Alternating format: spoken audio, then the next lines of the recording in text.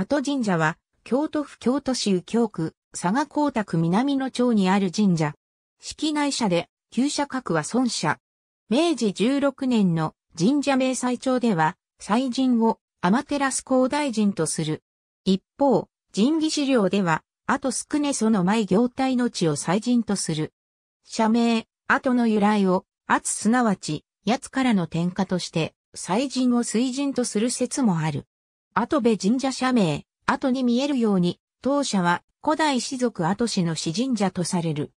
この後氏に関して、新鮮聖史録で、山城国に、後少ね、後蓮の記載があり、それぞれ石神阿尊の氏族で、ににはやひ命の孫の味行体命の光栄であるとしている。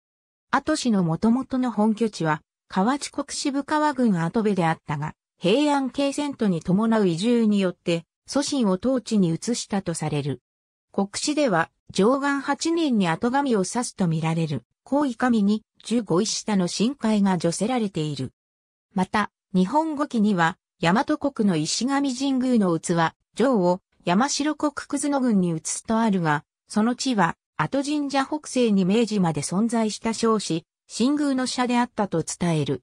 延長5年成立の演技式新名帳では、山城国葛の郡に、あと神社と記載されて式内社に列している。明治10年3月に、近代社格制度を置いて孫社に列した。現在は少子のみを残している。原点出典。ありがとうございます。